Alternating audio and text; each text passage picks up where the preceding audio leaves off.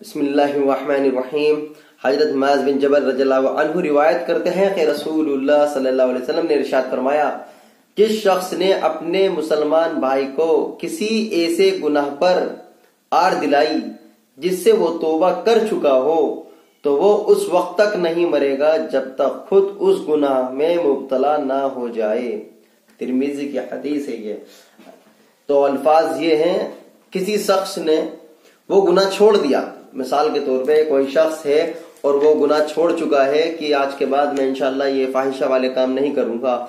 और उसके यार दोस्त, अहबाब, मिलने जाने वाले, रिश्तेदार वगैरह, शादी ब्याह के माहौल में या किसी तफरी के माहौल में या किसी पार्टी के माहौल में उस बंदे से वो काम करवा देते हैं जो कि वो छोड़ चुका था।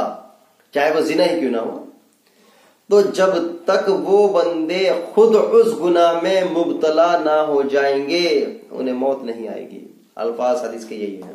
तो आप इस बात पे तवज्जो और खास तौर कर ध्यान कर लें कि खुद उस बात को सोच लें कि हम जो सामने वाले को सिखा रहे हैं और उसे उस बात पर मजबूर कर रहे हैं करने के लिए या उसे उसकी तरफ़ ला रहे हैं तो कल हमें मौत नहीं आएगी जब तक हमारे सामने खुद वो बात ना आ जाएगी।